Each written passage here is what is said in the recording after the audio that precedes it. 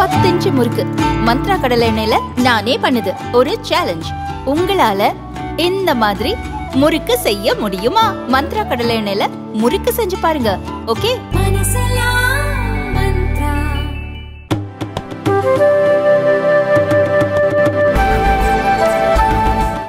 மனதிற்கு மிகவும் பிடித்தமான இடமான நான் கோயிலாக மதிக்கின்ற இந்த கமலாலயத்திற்கு வந்திருப்பதில் பெருமகிழ்ச்சி அடைகிறேன்.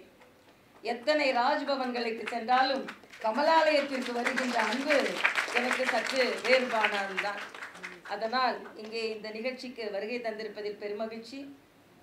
இந்த நிகழ்ச்சிக்கு தலைமை தாங்கிக் கொண்டிருக்கும் அன்பு தம்பி மாநில தலைவர் அண்ணாமலை அவர்களுக்கு எனது வணக்கத்தை நான் தெரிவித்துக் கொள்கிறேன். அதே போல இங்கே இந்த நிகழ்ச்சிக்கு வந்திருக்கும் மரியாதைக்குரிய ரவி பச்சமுத்து அவர்கள் ஏற்கனவே சொன்னதைப் போல தமிழகத்தை தாண்டி பல கல்வி நிறுவனங்களை நடத்தி வருகிறார்கள். கல்வி சேவை செய்து வருகிறார்கள். அவர்களுக்கும் எனது நன்றியை நான் தெரிவித்துக் கொள்கிறேன். பாலம் கல்யாண சுந்தரம் அவர்கள் அவர்களை பற்றி நான் சொல்லித்தான் தெரிய வேண்டுமில்லை. இன்றெல்லாம் நாம் அரிய பெரியவர்களை பார்த்து கொண்டிருக்கிறோம் என்றால் அதில் அவரோடு நாம் அமர்ந்திருக்கிறோம் என்பதே பெருமைக்குரிய விஷயம். அதனால் அவருக்கும் எனது வாழ்த்துக்களை தெரிவித்து மேடையில் அமர்ந்திருக்கும் தலைவர்கள் ஒவ்வொருவருக்கும் ஏனென்றால் ஒவ்வொருவர் பெயரையும் சொல்ல ஆரம்பித்தால் புத்தகத்தை பற்றி பேச முடியாது என்பதற்காக மேடையில் அமர்ந்திருக்கும் தலைவர்கள் எதிரிலே அமர்ந்திருக்கும் தலைவர்கள் எனது அருமை பத்திரிகை சகோதரர்கள் காவல்துறை சகோதரர்கள் அத்தனை பேருக்கும் எனது வணக்கம். அமர் பிரசாத் ரெட்டி. அவரின் கனெக்டிங் நூற்றி நாற்பது கோடி மக்களின் இணைப்பு. அதான் புத்தகம். அமர் பிரசாத் ரெட்டி ஒன்று சொன்னார் நான் தான் அவரை கட்சியில சேர்த்தேன் அப்படின்னு. நான் இன்னொரு பெரிய பிரச்சனையில அவரை மாட்டி விட்டேன். மிகப்பெரிய பிரச்சனை. வெளியே வரவே முடியாத பிரச்சனை. அவர் கல்யாணத்தை நான் தான் நடத்தி வச்சேன்.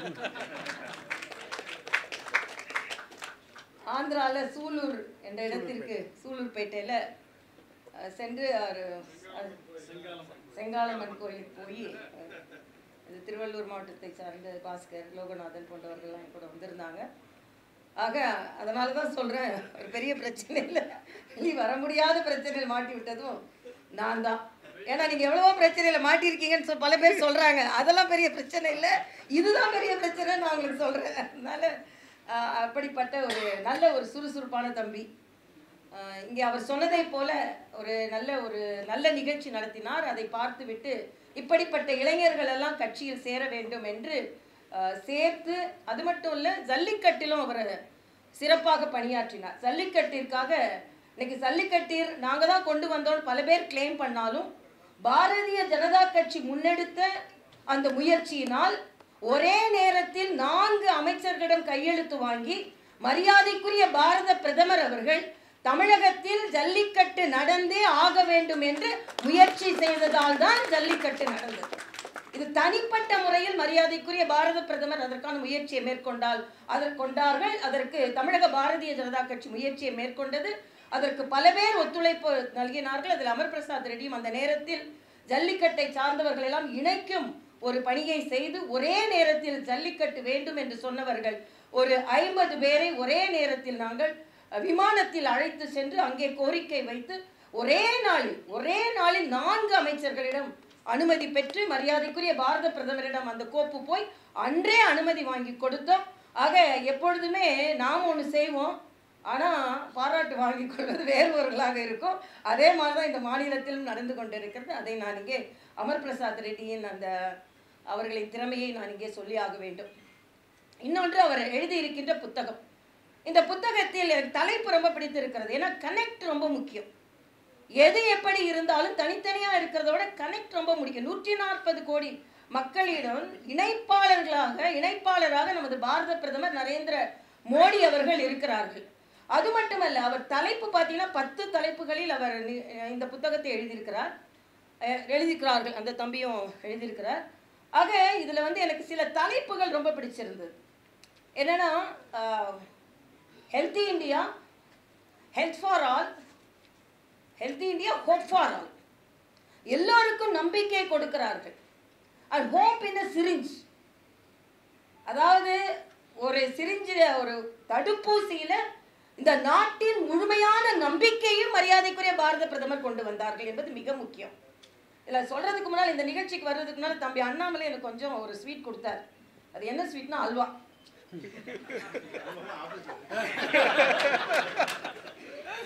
அல்வா. அல்வா கொடுத்தார். ஆனா அது நேர்மறையான அல்வா தான். ராகுல் காந்தி சொல்ற மாதிரி அல்வா கிடையாது. எல்லாம் உழைப்பாளியர்கள் கிண்டிய அல்வா தான். ஆக பட்ஜெட்டுக்கு முன்னாலே அப்படிதான் அல்வா கிண்டப்படுகிறது. நாம இப்ப கிண்டப்படல. இதே அல்வாவை காங்கிரஸ்காரங்களும் கிண்டாங்க. ஆனா ஏதோ பிஜேபியில கிண்ணா மாதிரியும் அதில் இருபது பேரில் தாழ்த்தப்பட்டவர்கள் பிற்படுத்தப்பட்டவர்கள்லாம் இல்லை அப்படின்னு இன்னொரு அல்வாவை அவர் கிண்டி இருக்கார் ஆனால் நாங்கள் அல்வா சாப்பிட்டுட்டு இது இனிப்புக்கான ஒரு குறியீடு என்பதை நாங்கள் எடுத்துக்கொண்டு அது மட்டும் இல்லை இன்னைக்கு வந்து ஒரு அல்வா என்பது ஒரு இனிப்பின் குறியீடு என்று சொல்வதை ஏற்றுக்கொள்ளாமல் ராகுல் காந்தி போன்றவர்கள் எதில் தான் பாலிடிக்ஸ் பண்ணணும் இல்லாமல் அல்வாலையும் அரசியல் செய்து கொண்டிருக்கிறார்கள் என்பது எந்த அளவிற்கு அவர்கள் தரம் தாழ்ந்து இறங்கி இறங்கி கொண்டிருக்கிறார்கள். ஆக அவர்களை எதிர்கொள்ளும் உயர்ந்த மனிதராக மோடி அவர்கள் இருக்கிறார்கள் என்பதை தான் அமர் பிரசாத் ரெட்டி எடுத்து சொல்லியிருக்கிறார். அதில் ராகுல் காந்தி சொல்ல அமர் பிரசாத் ரெட்டி கூட இதில் எழுதியிருக்கிறார். இல்லை பத்து தலைப்புகளை எழுதியிருக்க முதல் ஸ்வச் பாரத்ல ஆரம்பித்து கடைசியில் வந்து நார்த் ஈஸ்ட் டெவலப்மெண்ட் வரைக்கும் கொண்டு போயிருக்கார். இதில் நான் ஒரு மருத்துவரை எடுத்துக்கொள்வது health for all and hope for all அந்த சப்ஜெக்டை எடுத்துக்கலாம் அப்படின்றதான் ஏன்னா இன்னும் மாநில தலைவர் சிறப்பாக பேச இருக்கிறார்கள். அதனால் நான் எல்லா சப்ஜெக்டையும் நான் எடுக்க வேண்டாம்னு இருக்கிறேன். ஆனால் அந்த அல்வாயை பொறுத்த மட்டில் அது இனிப்பு என்பதையும் தாண்டி நீங்கள் இவர்களெல்லாம் பிற்படுத்தப்பட்ட ப- தாழ்த்தப்பட்டவர்கள் இவர்களெல்லாம் பட்டியலின சமூகத்தை சார்ந்தவர்கள் எழுபத்தி மூணு சதவீதத்திற்கு மேலே இருக்கிறாங்க. அதனால அவர்களை வச்சு ஏன் கிண்டலை அப்படின்னு கேட்டுக்கொண்டிருக்கேன். ஒரு சின்ன ஆலோசனை சொல்கிறேன் சகோதரர் ராகுல் காந்தி அவர்கள் தலைவர் அண்ணன் ஸ்டாலினை தொடர்பு கொண்டு நீங்கள் துணை முதலமைச்சர் போடுறதா இருக்கீங்க போல இருக்கு. அதனால இந்த பிரிவில் யாரையாவது போடுங்க அப்படின்னு நீங்க ஆலோசனை சொன்னால் இன்னும் நல்லா இருக்கும். ஆக நீங்க செய்யறதெல்லாம் செஞ்சுக்கிட்டு இன்னைக்கு அவங்க ஒரு பெரிய ட்ரஸ்ட் வச்சிருக்காங்க. அதில் எவ்வளவு பட்டியலின மக்கள் தாழ்த்தப்பட்டவர்களுக்கான எல்லாருக்குமே தெரியும். ஆக வேண்டுமென்றே ஒரு அல்வாவை வந்து வேற மாதிரி அரசியல் கிண்ட கிண்டலாக கிண்டி கொண்டிருக்கிறார். இன்னொன்று சொல்றாரு அதுல. ஏன் அமர் பிரசாத் ரெட்டி அப்படி சொன்னேன்னா இவர் கரோனா காலத்துல மரியாதைக்குரிய மோடி அவர்கள் எப்படி இந்த சுகாதாரத்தை முன்னெடுத்து சென்றார்கள் என்பதை நான் அனுபவித்து அனுபவித்து அவரை நன்றியுணர்வோடு பாராட்டுவது உண்டு. நான் துணைநிலை ஆளுநராக இருக்கேன். இரவு பதினோரு மணிக்கு பிஎம்ஓ ஆஃபீஸ்லேருந்து ஃபோன் வரும். ஃபோன் வந்து என்ன கேட்பாங்கன்னா டெத் ரேட் எவ்வளோ? வேக்சின் எவ்வளோ போட்டிருக்கீங்க? நாம் ஒன்று சொன்னால் அவர் கையில் ரிப்போர்ட் வச்சிருப்பார். பாண்டிச்சேரியில் இப்படி இருக்கனால நான் கடகடன்னு சொல்லிடுவேன். ஏன்னா நம்ம மாற்றி சொல்லவே முடியாது. அந்த அளவிற்கு அதை அவர் சொல்வார். உங்கள்கிட்ட ஒன்று சொல்கிறேன் நம்ம இன்னைக்கு பாரத பிரதமர் ராகுல் காந்தி சொல்கிறார் நீங்கள் எல்லாம் இது லைட்டு காமிக்க சொன்னீங்க காமிச்சோம். பாத்திரத்தை அடிக்க சொன்னீங்க அடித்தோம் அது அடிக்க சொன்னது பிரதமருக்காக அல்ல. கரோனாவை அடிப்பதற்காக மக்களை பாதுகாப்பதற்காக அடிக்க சொன்னது உங்களுக்கு அது கிண்டலா இருக்கு. ஆனா உலக சுகாதார மையம் என்ன சொல்கிறது என்றால் இத மாதிரி மணி அடிச்சு மக்களை வீட்டிற்குள் அமர வைத்ததனால் பாரத தேசத்தில் நாற்பத்தி ஐந்து லட்சம் இறப்புகள் தடுக்கப்பட்டது என்று உலக சுகாதார மையம் உங்களுக்கான அந்த மணி அடிச்சது அவ்வளவு கேவலமா கிண்டலா இருக்கு. ஆனா நீங்க இருந்தா நீங்க என்ன செஞ்சிருப்பீங்க? நீங்க மக்களையும் பாதுகாத்திருக்க மாட்டீங்க உங்களையும் பாதுகாத்திருக்க மாட்டீர்கள். இன்று இந்த பாரத தேசத்தில் அனைவரும் ஆரோக்கியமாக உலா வருகிறோம் என்றால் அதற்கு பாரத பிரதமர் கொடுத்த தடுப்பூசி தான் காரணம் என்பதை தெளிவாக எல்லாரும் தான் இன்னைக்கு இதே ராகுல் காந்தி கூட ஆரோக்கியமா இருக்காருன்னா அதுக்கு நாம கொடுத்த தடுப்பூசி தான். ஒரு பேண்டமிக் ஆரம்பிச்சு பதினோரே மாசத்துக்குள்ள ஒரு தடுப்பூசி உலகத்திலேயே எந்த நாட்டிலும் தயாரிக்கப்படவில்லை பாரத தேசத்தில் தயாரிக்கப்பட்டது என்பதை நாம் பாரத பிரதமருக்கு நன்றி உணர்ச்சியோடு சொல்லணும் அவர் சொல்கிறார் அமர் பிரசாத் ரெட்டி சொல்கிறார் அந்த தம்பியை சொல்கிறார் என்ன சொல்கிறாங்கன்னா இருநூற்றி இருபது கோடி டோசஸ் கொடுக்கப்பட்டது. அதில் ஃபஸ்ட்டு டோஸ் தொண்ணூற்றி ஒம்பது சதவீதம். இரண்டாவது டோஸ் தொண்ணூற்றி ஏழு சதவீதம். அந்த இம்யூனிட்டி தான் இன்னைக்கு உலகம் முழுவதும் மறுபடியும் கொரோனா வந்தால் கூட பாரத தேசத்தின் பக்கத்தில் கூட கொரோனா வராததற்கு காரணம் நாம் எடுத்துக்கொண்ட அந்த தடுப்பூசி. ருபல்லா தடுப்பூசி இந்த இந்திய பாரத தேசத்துக்கு வருவதற்கு முப்பது ஆண்டுகள் ஆனது. சின்னம்மையின் தடுப்பூசி இந்த பாரத தேசத்திற்கு வருவதற்கு நாற்பது ஆண்டுகள் ஆனது. டிபியின் தடுப்பூசி இந்த பாரத தேசத்திற்கு வந்ததற்கு இருபத்தி ஏழு ஆண்டுகள் ஆனது. உலகம் முழுதான் தனக்கு போட்டுக்கிட்டு அதுக்கப்புறம் தான் மற்ற நாடுகளுக்கு கொடுப்பார்கள். அதாவது ஹோப் என்ன சிரிஞ்சுன்னு மிக அழகாக சொல்லியிருக்கிறார். ஒரு ஊசியில் எனது நம்பிக்கை இருக்கிறது. ஆக அந்த வார்த்தை உண்மையிலேயே மரியாதைக்குரிய பாரத பிரதமர் அவர்களை முழுவதுமாக முன்னிறுத்துகிறது.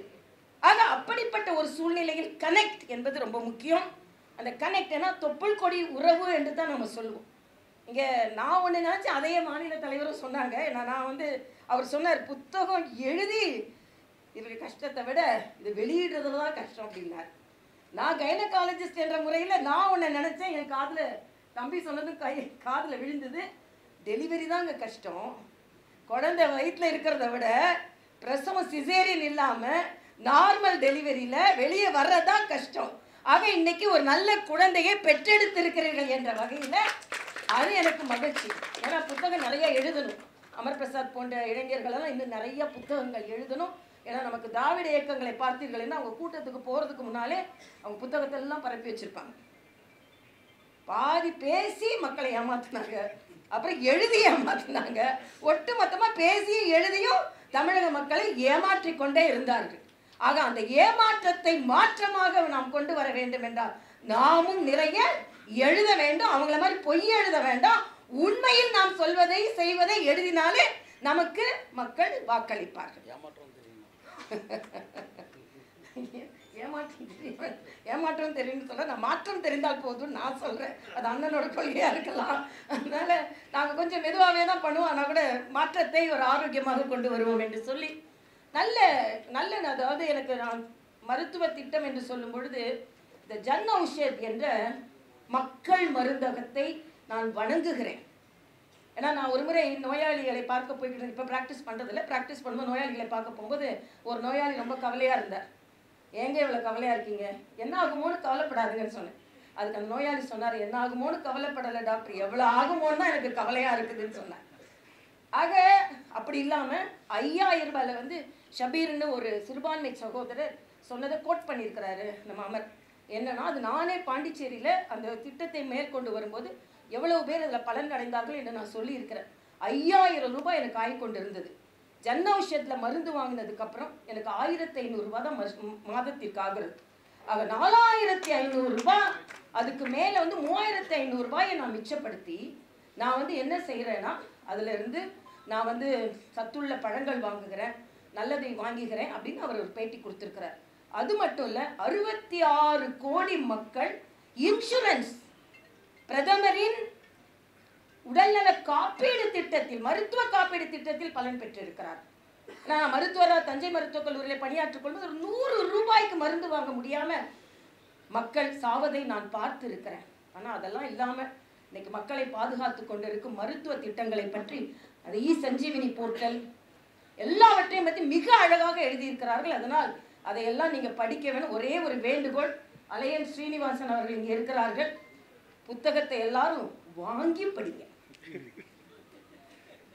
நம்ம வாங்குற புத்தகத்தோட நம்ம வாங்குற புத்தகத்துக்கு நம்ம கொடுக்கின்ற விலை அதில் வந்து நம்ம வந்து அந்த கவருக்கும் பேப்பருக்கு தான் கொடுக்குறோம். அதோட கண்டென்ட்டுக்கு நம்ம கொடுக்கல. கண்டென்ட்டுக்கு கொடுக்க ஆரம்பித்தால் விலை மதிப்பற்ற பணத்தை தான் கொடுக்க முடியும். ஆக பதிப்பகத்தாரும் கொஞ்சம் பலனடை வேண்டும் என்பதற்காக எல்லோரும் ச- தயவு செய்து வாங்கி படியுங்கள். இன்னொன்றே நான் ஸ்ரீனிவாசன் கேட்குறேன். இளைஞர்கள்லாம் இப்போ எழுத ஆரம்பிச்சிருவாங்க. அவங்க புத்தகத்தை எல்லாம் நீங்கள் போட்டு தர வேண்டும். மாநில தலைவர் அண்ணாமலை அவர்களோடு நான் கேட்டுக்கொள்கிறேன். யார் யாரெல்லாம் இளைஞர்கள் புத்தகம் எழுத வேண்டுமோ அதையெல்லாம் எழுதணும். ஏன்னா வந்து நான் ஒரு புத்தக வெளியீட்டு விழாவிற்கு போயிருந்தேன். அப்போ ஒருத்தர் சொன்னார் திருப்பி திருப்பி சொல்லிக்கிட்டே இருந்தார். இது அமர் புத்தகம் இல்லை நான் ஜென்ரலாக ஒரு லைட்டர் சென்ஸில் சொல்கிறேன் இந்த புத்தகத்தை வெளியே கொண்டு வருவது பிரசவம் மாதிரி இருந்தது பிரசவம் மாதிரி இருந்தது பிரசவம் மாதிரி இருந்ததுன்னு சொன்னார். நம்மளாம் சொன்ன மாதிரி ஒருத்தர் எழுந்து சொன்னார் புத்தகத்தை படித்தவர் போதும் இதில் குட்டு குடும்ப கட்டுப்பாடு பண்ணிக்கோங்க. இந்த ஒரு புத்தகம் குழந்தை மாத்திரம் பெற்றது போதும். அப்படின்னு. ஏன்னா புத்தகம் அந்த நிலையில இருந்தது. ஆனால் அமர் பிரசாத் ரெட்டி போன்ற இளைஞர்களுக்கு நான் சொல்கிறேன் உங்களுக்கு குடும்ப கட்டுப்பாடு கிடையாது புத்தக கட்டுப்பாடும் கிடையாது. எத்தனை புத்தகங்கள் வேண்டுமானாலும் எழுதுங்கள். ஏனென்றால் அந்த எழுத்து மக்களை மாற்றும். ஏனென்றால் வார்த்தை பாரதியார் சொன்னதைப் போல தேவ வார்த்தை. அக்னி குஞ்சென்று கண்டேன் அங்கே ஆங்கொரு பொந்தில் வைத்தேன் வெந்து தணிந்தது கால். ஆக ஒரு அக்னி குஞ்சை வந்து ஒரு மரப்பொந்தில் வைத்தால் காட்டையே வெந்து தணிக்கும் அளவிற்கு அந்த வார்த்தைகளில் ஒரு சக்தி இருக்கிறது உதாரணத்திற்கு கேசிஆர் உங்களுக்கு நல்லா தெரியும். தெலுங்கானால முதல் புரட்சி எங்க வந்ததுன்னா ஒரு நான் சொன்ன ஒரே ஒரு வார்த்தை தான் அவரை அப்படியே புரட்டி போட்டது.